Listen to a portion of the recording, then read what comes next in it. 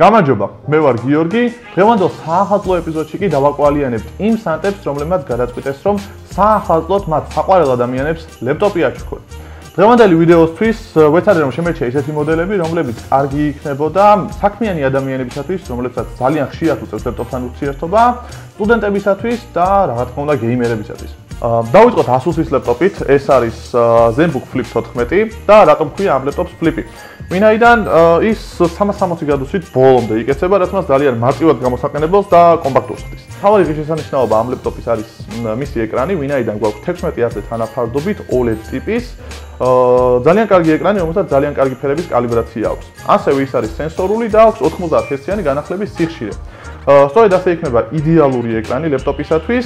ვფიქრობ, რომ ეს ლეპტოპი საკმაოდ კარგი ვარიანტი იქნება ფოტოედიტორებისათვის, მისი ეკრანიდან გამომდინარე. რაც შეეხება პორტებს, გვაქვს ერთი USB პორტი, ორი Type-C პორტი, SD ბარათის სლოტი და 3.5 მმ-იანი აუდიო ჯეკი.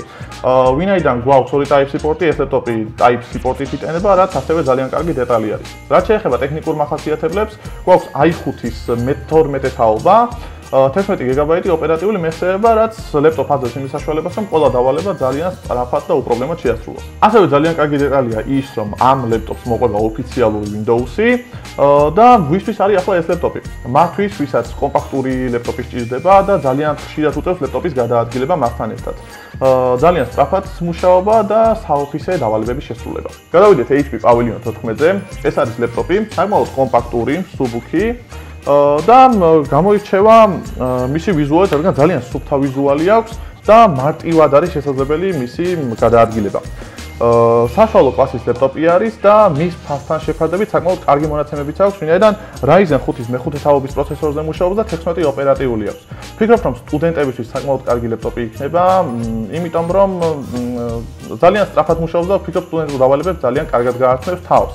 ასევე გასათვალისწინებელია ის ის რომ თითის ანაბეჭდის სენსორი გვაქვს ამ ლეპტოპში და გვაქვს საკმაოდ კარგი 14 ინჩიანი ეკრანი თუმცა სხვადასხვა კონფიგურაციებით არსებობს ამ ლეპტოპის სხვადასხვა ფერებში და ასევე არსებობს 15.6 ინჩიანი ეკრანი. ამ ყველაფრის დეტალურად ნახვა შეგიძლიათ ალტას ვებსაიტზე რომლის მულიც ახტერაში იქნება. რაც შეეხება პორტებს ლეპტოპს აქვს ორი USB პორტი Type-C პორტი, HDMI პორტი და 3.5 მმ-იანი აუდიო ჯეკიც. გადავდოთ ჩვენი HP Pavilion-ი და გადავიდეთ უკვე დამწყები გეიმერის ლეპტოპზე, ასე ვიტყვი, იმიტომ რომ საკმაოდ კარგი მონაცემები გვაქვს ამ საფასო კატეგორიაში. ეს არის Lenovo IdeaPad Gaming 3. Ryzen 5-ის მეხუთე თაობის პროცესორი გვაქვს, 16 ოპერატიული და GTX 1650. ფიქრობ რომ ეს მონაცემები სრულიად საკმარისია დამწყები გეიმერებისათვის, ვინაიდან საშუალო კლასის თამაშებს უპრობლემოდ გაუშვებს ეს ლეპტოპი. და თუ საჭირო გახდა ვიდეო ედიტის შესაძლებელია, რაც შეეხება პორტებს, ვინაიდან პორტები ძალიან მნიშვნელოვანია ხოლმე გეიმერებისათვის, ვინაიდან სჭირდებათ ხოლმე ძალიან ხშირად პორტების გამოყენება, ასე რომ გვაქვს ორი USB პორტი, კლავიატურის და მაუსის შესაძლებლად მაგალითად და ასევე გვაქვს HDMI პორტი, დაუშვათ თუ გვინდა უფრო დიდ ეკრანზე ჩვენი თამაშის გადატანა. ვინაიდან საუბრობთ გეიმინგ ლეპტოპზე, ვითამაშებთ ერთხელ CS:GO-ს და ჩემ შტაბეჭერებს გაგიზიარებთ პირდაპირ თამაშის პროცესში. ვინაიდან თამაშობთ Counter-ს, დავაყენოთ ყველაფერი ულტრაზე, პრობლემა არ უნდა იყოს ამ თამაშის ულტრაზე წაღება ამ ლეპტოპისათვის. ავტომატურად თამაშმა high-ზე დაგვიყენა, მაგრამ ჩვენ ვეცდებით რომ ყველაფერი გავმახსოვთ და ყველაფერი დავაყენოთ უმაღლეს გრაფიკაზე. შემოვედით counter-ში.